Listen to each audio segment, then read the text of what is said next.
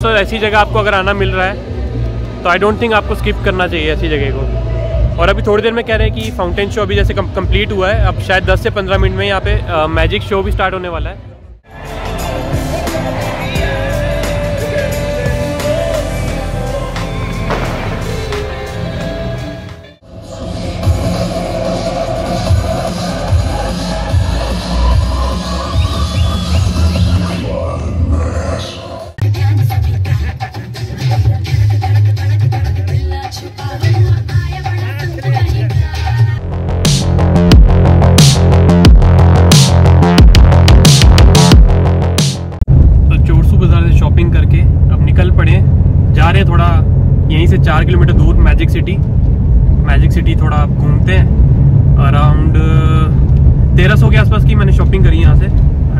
ही खरीदा मोस्टली और जिसकी कॉस्ट अगर इंडिया में देखा जाए तो इसकी कॉस्ट अराउंड आराम से ढाई हज़ार से तीन हज़ार रुपये तक होती। अगर यही आइटम मैं वहाँ से लेता तो काफ़ी ज़्यादा सस्ता ड्राई फ्रूट था इधर।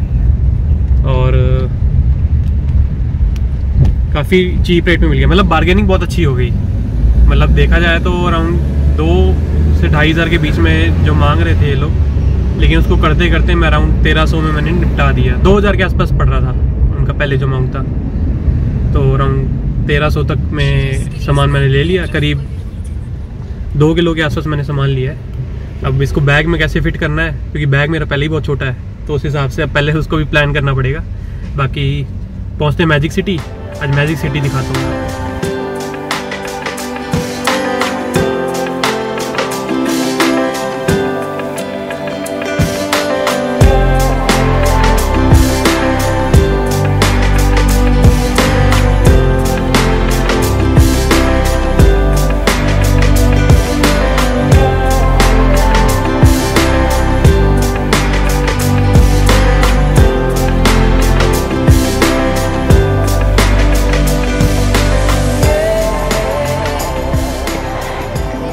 करीब पाँच किलोमीटर ग्यारह हज़ार सोम टैक्सी ने लिए यहाँ तक आने के लिए चोरसू बाज़ार से। और हमें पहुँच गए इधर मैजिक सिटी में। काफ़ी अलग वाइब लग रही इस जगह की। और एक तरह से लाइक डिज्नी लैंड टाइप की कुछ फील आ रही है यहाँ पर। आसपास सारी शॉप्स हैं और काइंड ऑफ़ पूरा डिज्नी लैंड ही समझ लो। तो मतलब काइंड ऑफ़ डिज्नी लैंड का थीम पार्क बना हुआ है। लेकिन काफ़ी ये शॉकिंग लगा मुझे कि फ्री एंट्री है। इसके कोई पैसे चार्ज नहीं किए गए। बिल्कुल फ्री आप कभी भी अंदर एंटर कर सकते हो, कोई टिकट नहीं है इसकी। जबकि बाकी कंट्रीज़ अगर ऐसी जगह कुछ बनाएँ यूरोप में अगर आप चले जाओ तो इस चीज़ के कम से कम कुछ ना कुछ 10 से 15 डॉलर की तो टिकट बनती है। लेकिन यहाँ पे कुछ चार्ज नहीं कर रहे लोग। बिल्कुल फ्री बस वो अलग बात है बिज़नेस है तो यहाँ पे अंदर काफ़ी हर चीज़ के पैसे होंगे। तो ये एक तरह से अर्निंग तो वहाँ से हो जाएगी इनकी, लेकिन फिर भी अगर आप दूसरी जगह भी जाते हो तो एक तरह से अंदर से आपको मतलब जैसे कुछ खरीदो या कुछ करो तो वहाँ पे भी आपको पे तो करना पड़ता ही है। ये सामने फाउंटेन शो चल रहा है, शायद अभी स्टार्ट हुआ है, वो दिखाता हूँ आपको। यार काफ़ी अच्छा बना हुआ है, ये देखो मेरे पीछे।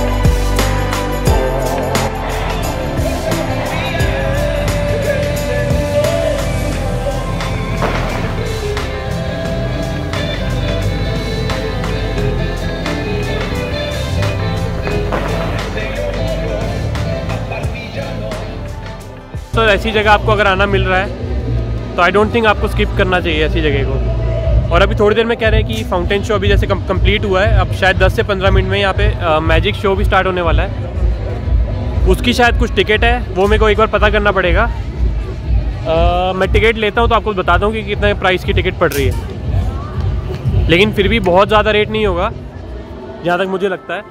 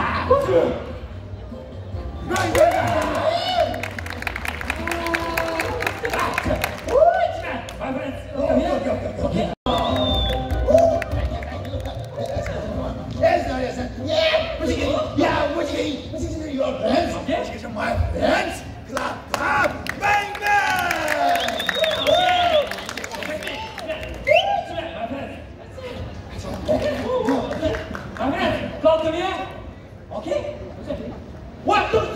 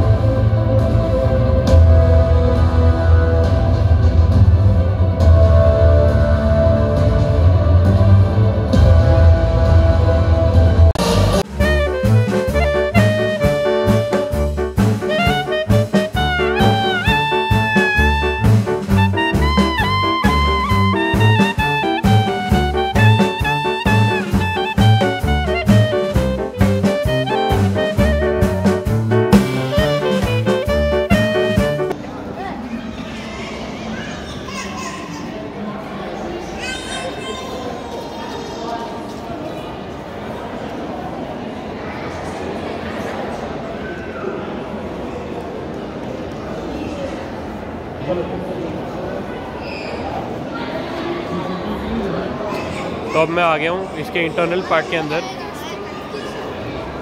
बाहर तो आपने देख लिया। अब थोड़ा अंदर वाला भी हिस्सा कवर कर लेते हैं, देख लेते हैं अंदर क्या क्या है।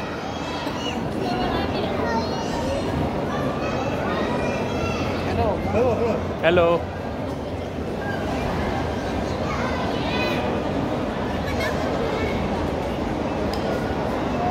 अंदर कुछ नहीं है, बच्चों के झूले ही हैं। अभी तक जो दिखा मुझे। वही छोटे रोलर कोस्टर और राइड्स छोटी छोटी। Five D cinema. बेसिकली अंदर वाला पार्ट सिर्फ़ छोटे बच्चों के लिए ही है, लग रहा है ऐसा। हाँ वही है। बस इतना ही है, अंदर।